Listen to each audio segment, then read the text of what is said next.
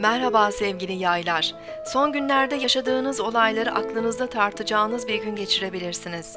Yalnız bırakılmak isteyebilir, sakin bir köşede düşüncelere dalabilirsiniz. Karamsar düşüncelerden uzak durmaya çalışın. Değerlendirmeleriniz yeni yaklaşımlar getirebilir.